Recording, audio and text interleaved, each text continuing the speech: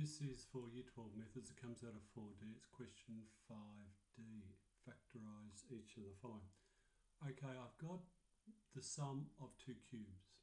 I know from the rule that x cubed plus y cubed equals x plus y, x squared minus xy plus y squared.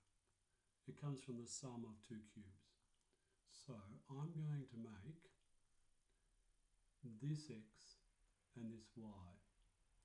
So a minus b cubed plus a plus b cubed will equal x, which is a minus b, plus y, which is a plus b,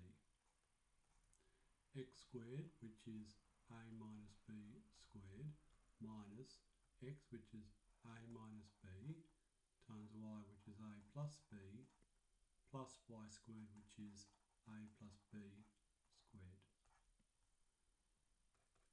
a plus a is 2a and b minus b sum to 0 so 2a. This expanded will be a squared minus 2ab plus b squared this is the difference of two squared, so a squared minus b squared, but it's being multiplied by negative, so minus a squared plus b squared plus a squared plus 2ab plus b squared. This and this sum to 0, this and this sum to 0, which leaves me with 3b squareds and an a squared.